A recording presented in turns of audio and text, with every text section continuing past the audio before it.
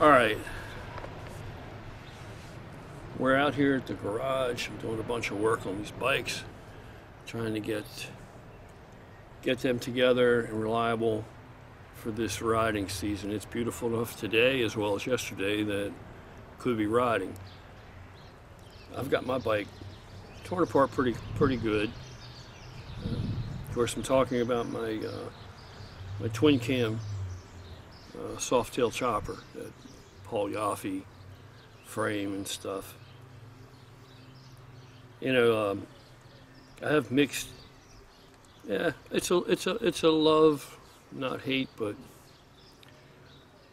I do love the motorcycle. I'll probably keep it forever. I think it's very cool, uh, and that's one of the factors why why I want to keep it. But the other factor is that every motorcycle I've ever had that I got rid of, I always regretted it. I was never glad to get rid of any of them.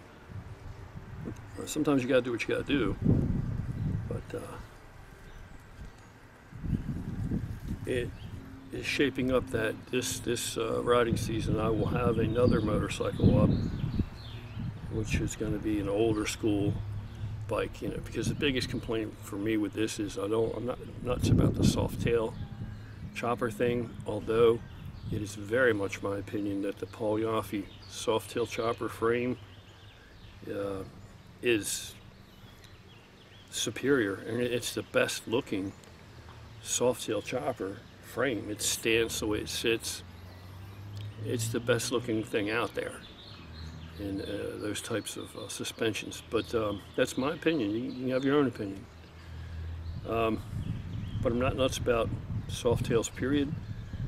And I'm not nuts about Softail choppers, anyway, put it that way. And I'm not nuts about twin cam motors.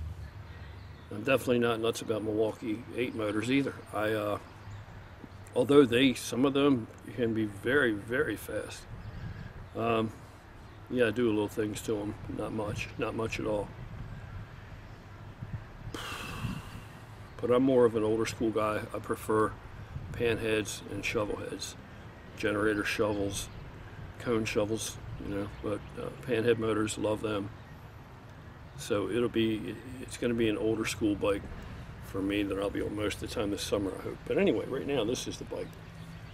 And uh, it had some, some things I needed to, to, to take care of. So while I had it apart, I decided I'm going to redo the finish on it. Because when I first put it together, it was a rattle can spray job. Just black primer. You know, when I got it to the point where I could ride it and got it all squared away, just for shakedown purposes, coat it with something, get something on there. And uh, I've ridden it like that for the past few years. So now I've, I've, uh, I've done it with uh, a satin finish. So it's still not, I don't want the gloss, I don't want shiny, I don't want sparkly or anything like that on it. Uh, it's just a, a huge collection of overly priced parts um, with like bare bones rattle can paint job and that's the way I like it for this bike. Um, but we're not even here, really here to talk about this bike. We're going to get into that in another video. We're here to talk about Rob's bike Rob's Sportster. His Sportster has had a charging problem for quite a while. He's been dealing with it. You know these bikes I mean you can charge the battery up. If you got a healthy battery, you can ride all day long. Ride all day long, pretty much, with a bike that doesn't charge properly. But the next day you're gonna have a problem. And if you got a bad stator or something like that, it can definitely feed back through the system and kill the battery as it just sits a lot faster than the battery's gonna uh, leak down or discharge on its own accord if left sitting. So we're finally taking care of that what his problem turns out to be, this is a 1989 Sportster. It's got a uh, big bore kit on it. Um, but it is one of the bikes that has the stator uh, operates in conjunction with the clutch basket, the back of the clutch hub, the interior side of the reverse side of the clutch hub, the side that faces the inner primary case, has um, has magnets all the way around it and it spins around the stator and that's what generates AC voltage.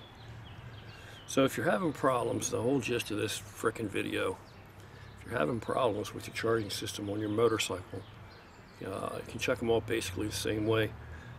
You know, of course, first thing you're going to do is throw a voltmeter across the battery and see what you got. And you should have some pretty healthy voltage. You should have 13 volts or 13.5, maybe even might even have 14 volts. Depends on the state of the battery, to tell you the truth, in, in many circumstances. But uh, and a good healthy battery is going to be 12.6 volts or so. You know, a really good, really good solid battery. If you only have 12.4 or something, you go out and check it. That's okay.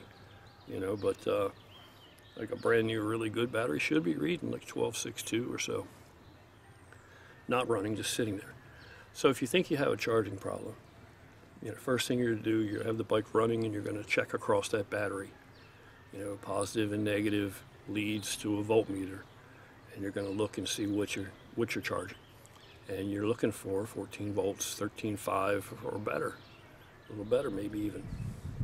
Now these systems put out a ton of voltage, AC voltage, but when it's rectified to DC voltage by the regulator, which is also a rectifier on this bike, it pulls it back down uh, and it ends up being whatever it is that your charging voltage is, you know, 13 something, 14, whatever it may be. So the fastest way for you to check it, if you find out at the battery with it running that it's under suspicion and it seems battery voltage only, you know, that you don't have, the alternator doesn't seem to be putting anything out, then the fastest way to check it is to unplug the stator, to follow the harness coming from your, if you don't know where else to find it, follow the harness coming from your, your voltage regulator mounted in the front of the bike in the airstream. Follow that on back if you can, and somewhere back underneath there, uh, nearing the uh, transmission area, somewhere in there, you're going to find a plug. Uh, should be a two-prong plug. Unplug it. Um, start the bike up at idle and take your voltmeter set to AC voltage now AC now DC previously AC now and pin out the stator plug that's coming out of the engine. Put uh, you know you have two prongs stick your your, your your negative and your positive leads on those prongs. One on each prong. It's very simple. And look at what you got. Now at idle you should have probably yeah, I don't know as much as 18 volts. You should probably you know it should be reading uh, I don't know over 12 volts but as high as 18 volts and for every 1000 RPM okay this is sitting at idle so now if you go to turn you turn the throttle up a little bit for every 1000 RPM, it should double. It should, it should, well not double, but read an additional 12 to 18 volts. So uh, if you if you turn it up to 2,000 RPM, then you're you're probably going to be about 36 volts. These things put out a ton of voltage, but that's AC voltage. If that's going on, if you see in that, then stator is okay, the clutch basket is okay. Uh, and you need to replace that regulator most likely it's the regulator causing the problem replace the regulator I mean, you could have a bad wire between said stator and regulator but it's probably regulator replace the regulator. If you don't have enough voltage coming out of that stator then you're going to have to take the uh, primary cover off pull the clutch basket out and uh, the uh, the engine sprocket, crank sprocket, pull it off as a unit with the chain and lay it down front side or side that's out, lay that face down so you can see the back of it and you'll see all the magnets in there. Odds are one of the magnets, may, you may just have a bad stator, which is still going to be up there behind the clutch hub, still bolted to the inner primary. It's held on with four or so uh, little Allen head bolts, screws, they're not very big diameter wise. Um, but what you may have a bad stator alone, you're very lucky if that's what's up. But more than likely, because it's a known problem with these things, happens frequently, you may have one of the magnets have come loose. And you'll see that clearly. The magnet will be broken. There'll be pieces of it laying in there, debris, and when it breaks or comes loose, it hits the stator and it takes the stator out as well. So now you're going to need a clutch hub and stator. So let me show you what's up with Rob's bike, and that way you can get a better look at it, a better understanding of it. All right, so here's Rob's bike. We have um, got the outer primary cover. The primary is pulled off. Now I'm not going to go into detail and document how to do all of this. This is not difficult stuff. You need to get a manual. Get a manual. Get you a manual. They're invaluable. You'll need it again. Won't be the only time you'll ever be able to use it. This is the stator hanging here.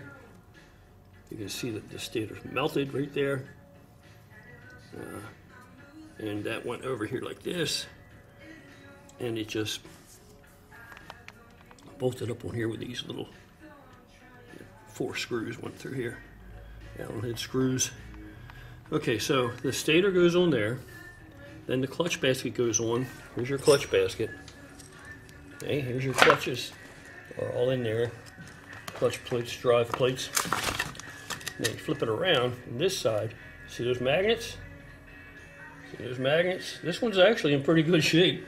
You have one magnet right there. See that magnet piece of it's broken off? One magnet right there, the piece of it's broken off. Pretty good size. The rest of them, and even that magnet, they're not really that messed up. What most likely appears to have happened is, I don't know which happened first. Either that magnet got loose and, and yeah, protruded a little too far so that it hit this somewhere. You can see clearly it's been hitting it right here. It hit it, and it usually wipes out the stator, but the stator's melted down anyway. So now maybe the stator became disfigured, and that's why it hit it. Who knows? But it didn't hit them all, so I kind of doubt that. Anyway, that's our situation here.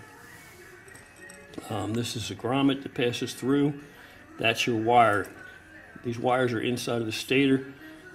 This harness goes through the back of here, and then where it unplugs is where you would check it at. All right, so that's about as simple as I can explain that. Uh, I wouldn't be afraid of it, but you're going to need a manual. And there are small differences in various years. Uh, later on, I'm not sure about these bikes, but I know on the big twins later on we have the uh, stator up here, the magnets are up here, and it makes it uh, uh, probably a little bit cheaper, definitely cheaper than this, because if you have to replace this, it's the whole basket, and that can be very, very pricey. Hundreds of dollars for that. And you got to transfer the clutches and all over.